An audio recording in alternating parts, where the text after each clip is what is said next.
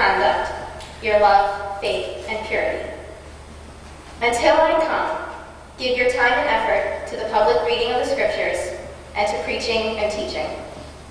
Do not neglect the spiritual gift that is in you, which was given to you when the prophets spoke and the elders laid their hands on you. Practice these things and devote yourself to them, in order that your progress may be seen by all. The word of the Lord.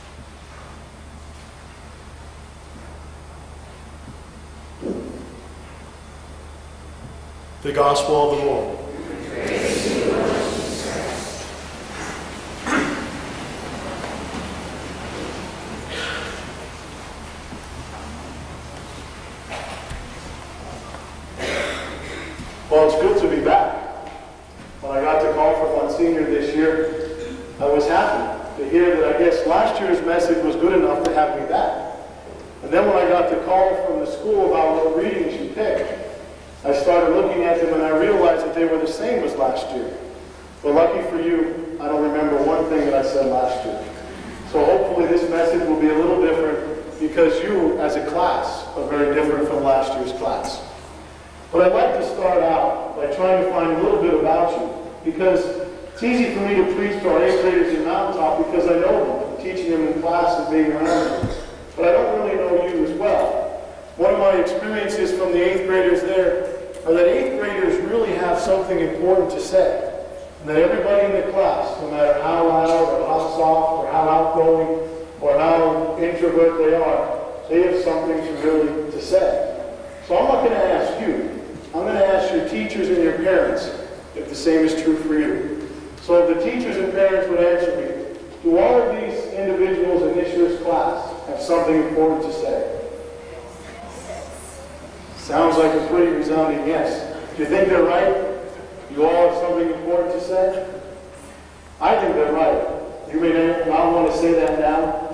It may be easier for me to just talk. So I'm going to talk a little bit and maybe try and get out some of those important things that you really have to say. The first reading that all of you chose for this year's graduation liturgy is a reading from Jeremiah. Now you may think there's nothing to do with you and Jeremiah, but the more I read that reading and prayed over it, I realized that there's a lot to do with each and every one of you and who Jeremiah is.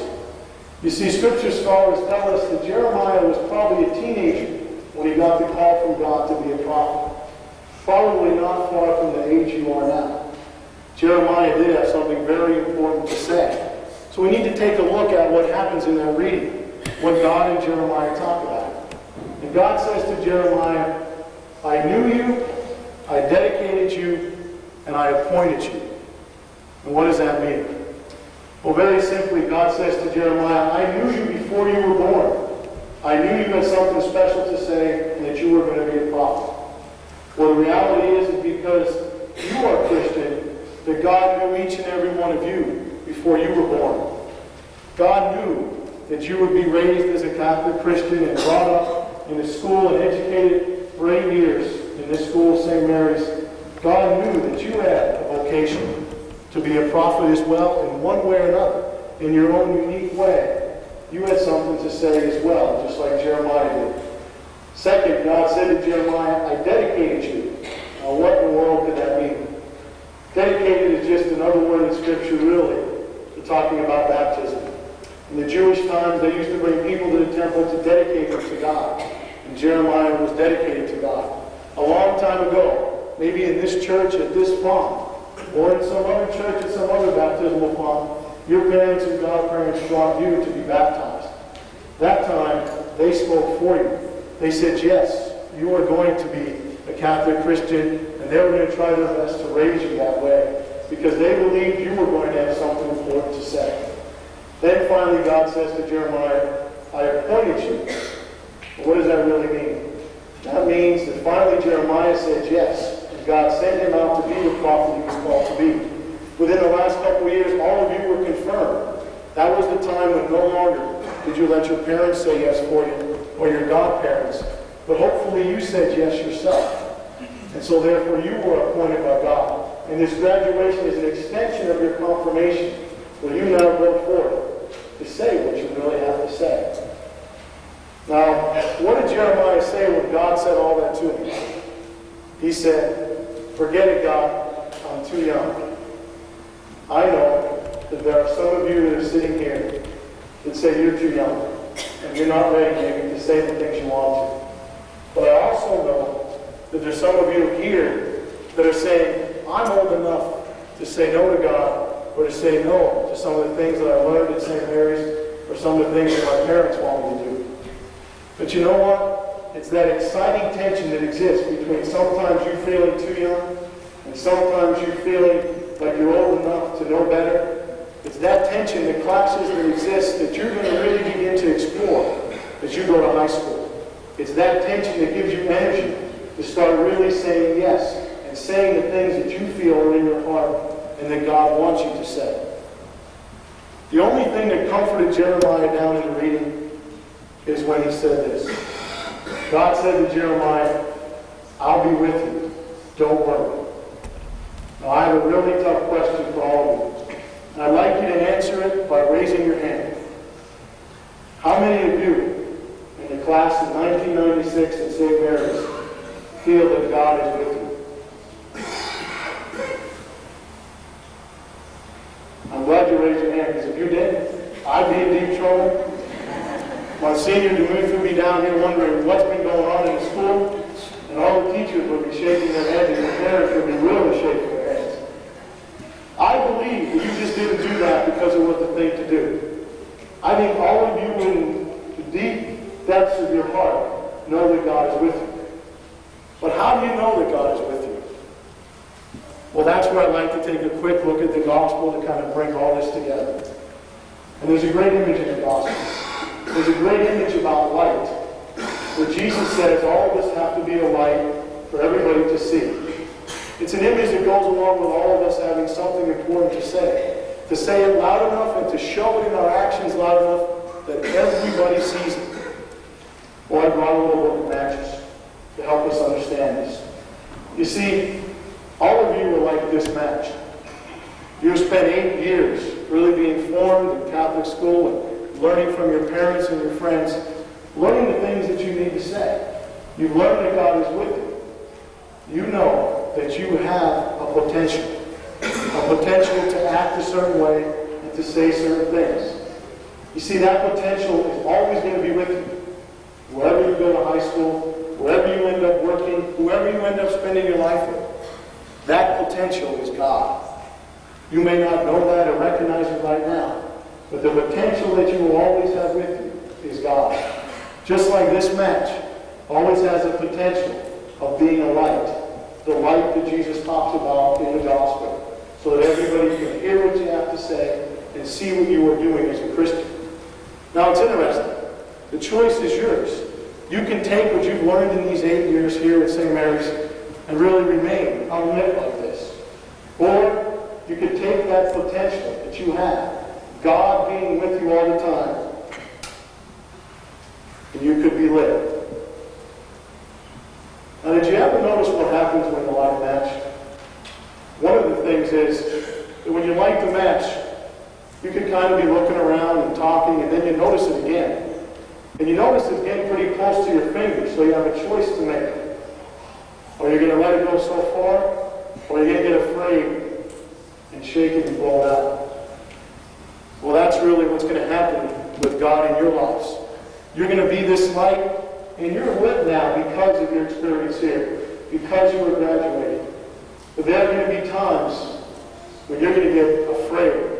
You're going to get a little stressed out. You're going to get a little anxious because maybe that light burning a little too bright and you don't know if you can quite handle it. You don't know if you really believe or you can do what God's asking you to do. So you're going to get nervous and you're going to shake it out. When that happens, you're going to have to make sure that you can turn to somebody else. Or that you can find it in the depth of your being to find another light, to find another match. Did you ever notice what else happens when you light a match? If I really hold it like this, to kind of move along here, because I know everybody's hot, sooner or later,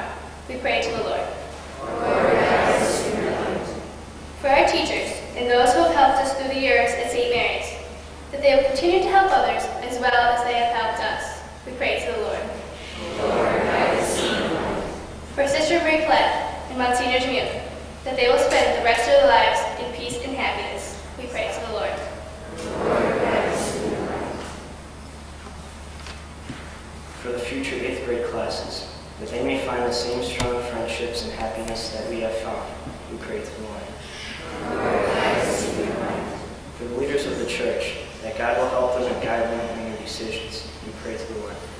Lord For all the sick and suffering, that God will help them find peace. We pray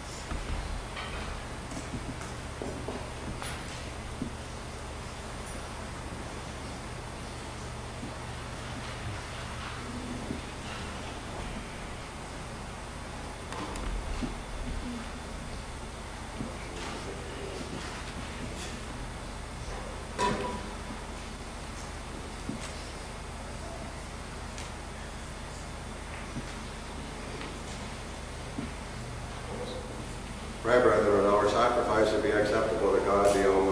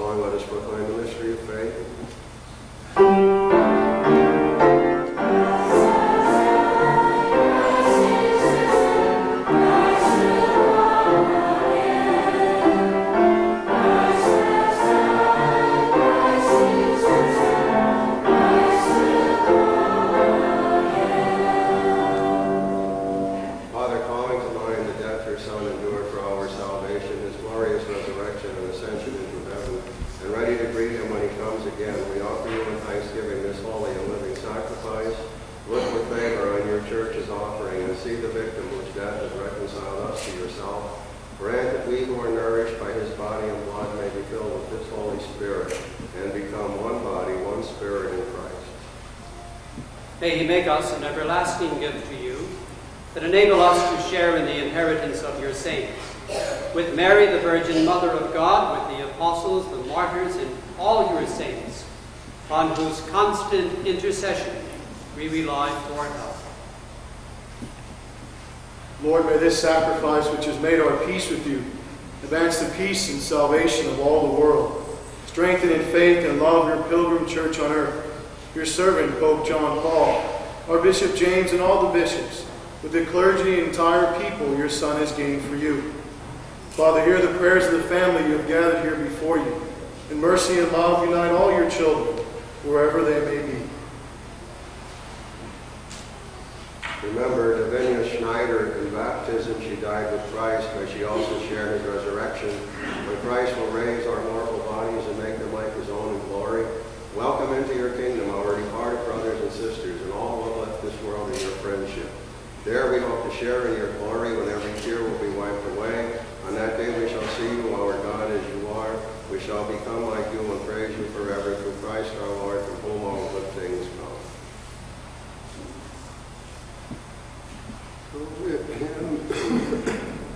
Through him. Through him.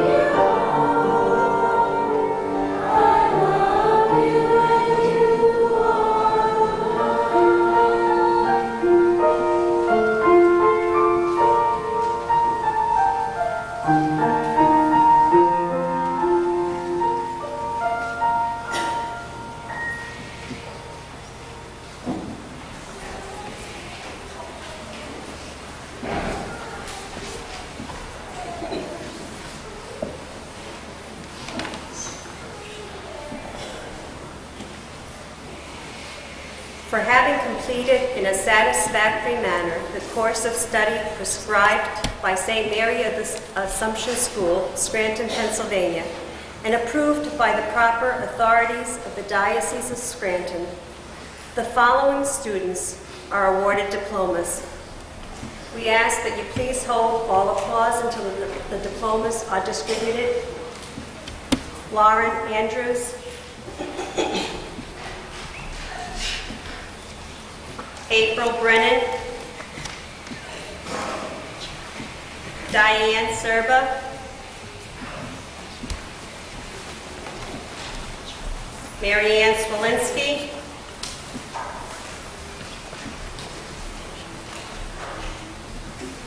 Mary Lynn Delfino. Jamie Fry.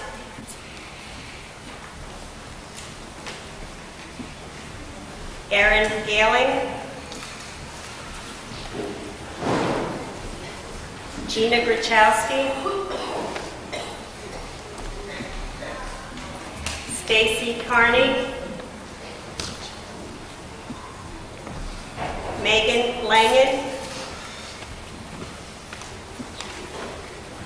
Melissa Lannick.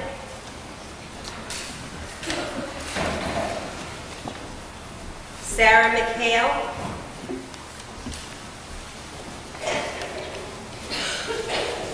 Michelle Pendrak.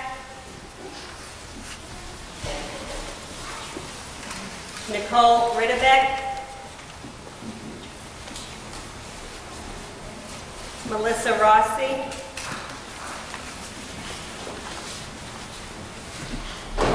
Sarah Snyder. Roxanne Walsh.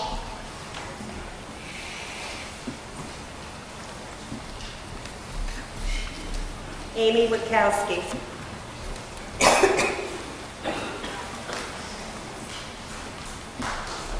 Clinton Gilman. Mark Kriskevich. Michael Lenedy. Michael Mariani. Timothy Masqua. Christopher Musso. Thomas Notary. Colin O'Boyle. Patrick Scanlon.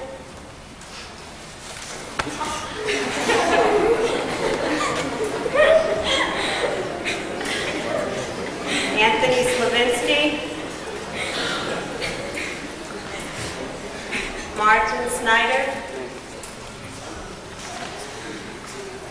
John Yerum.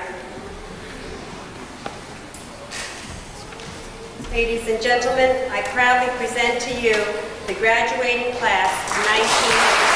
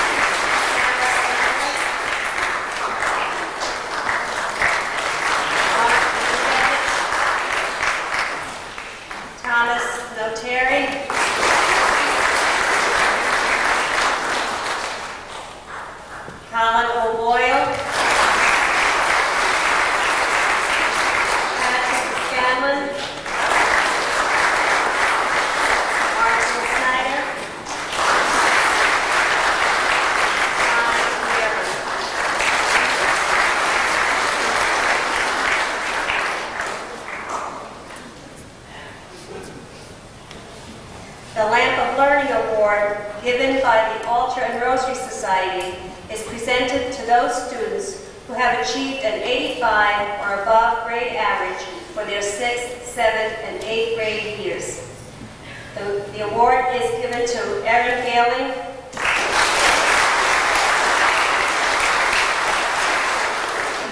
Gina Gurchowski, Jamie Fry.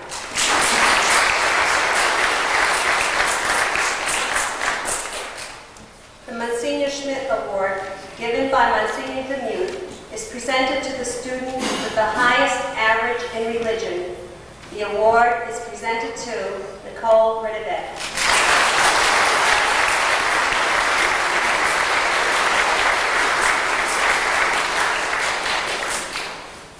The American Legion Award, which is presented annually to the two students who have distinguished themselves by the qualities of courage, honor, patriotism, scholarship, and service, is presented to Stacy Carney and Martin Snyder.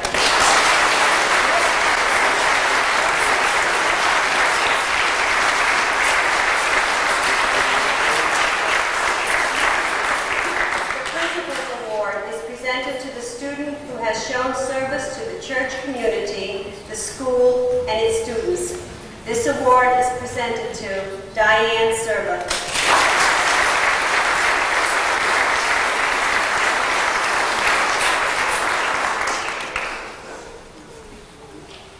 The award for outstanding participation and achievement in advanced chorus is presented to Jamie Fry.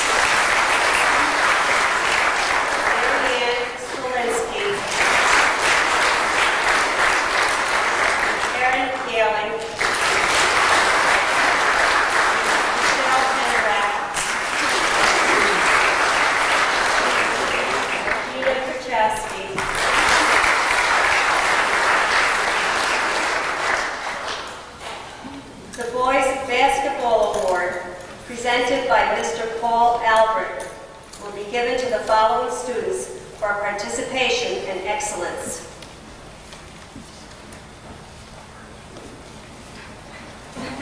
Mr. Paul Albert.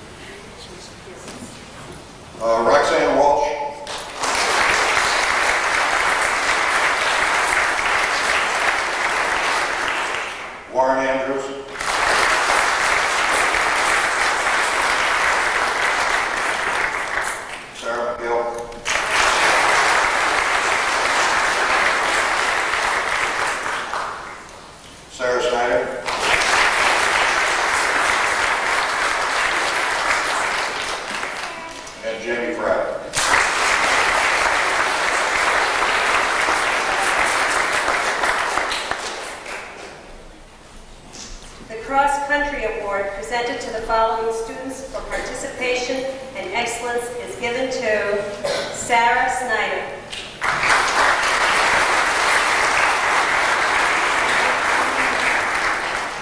Nicole Riddick.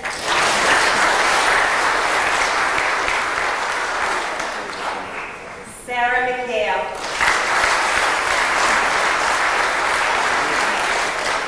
John Aram.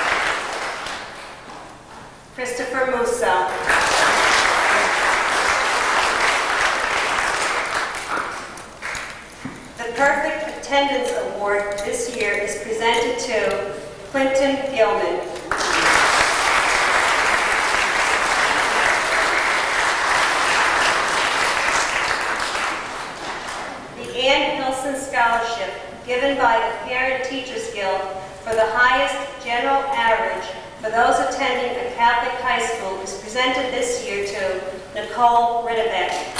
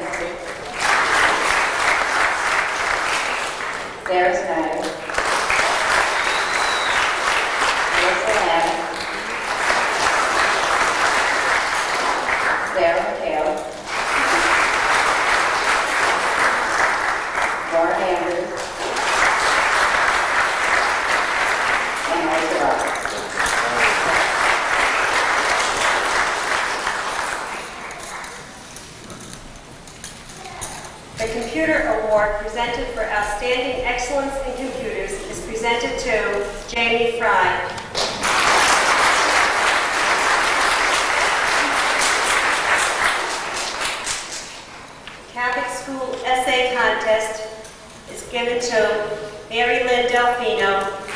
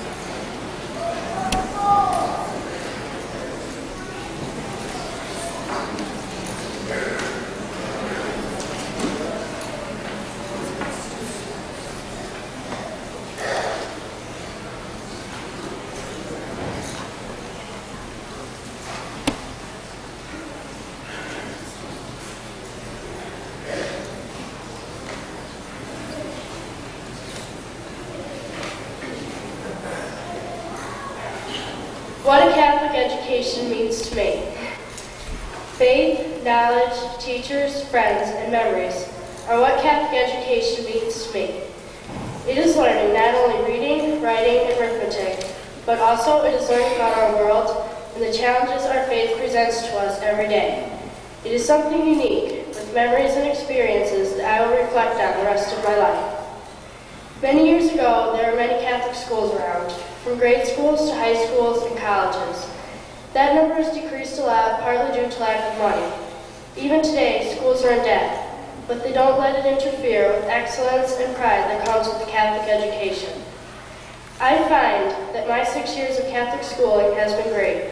There are so many things that I never would have learned if it weren't for it. God is just one. Of course, we all know God, but do we know about our faith and living a Christian life? In third grade, I didn't, but over the years, I've come to understand better what God expects of me. This is just one of the many things I have learned, and I will take these lessons with me as I move on in life. Another thing I can see with Catholic education is we have excellent teachers who are dedicated to providing service to God. They teach us what we need to know and are there for us when we need advice. No amount of work could ever repay our teachers for the tireless effort they have given throughout the years. Friendship is another great thing about going to a Catholic school. If you went to a public school, you would have a variety of people to choose your friends from, but you wouldn't know everyone personally. Here, there's 30 of us, and we are a tight-knit group. Going our separate ways through high school is going to be hard and very emotional, because some of us have been together for eight years or more. This is definitely one difference between public and Catholic school. Memories that last a lifetime is a slogan for Pennsylvania, but it could also be for Catholic education. There are many lessons and experiences that we will cherish forever. Things we have learned about our faith will never be forgotten, along with all the fun we've had with our classmates on class trips and in school. If I didn't carry these things with me, I'd feel lost. I'd like to conclude by saying that Catholic education is the best education you can get. In my opinion, it's the most well-rounded education, and to me, number one. It truly means the world to me. There are no words strong enough to say how much I love God and the education He is bestowing on me. And now, a final thought for my classmates. This is not the end, it's just the start of a new beginning.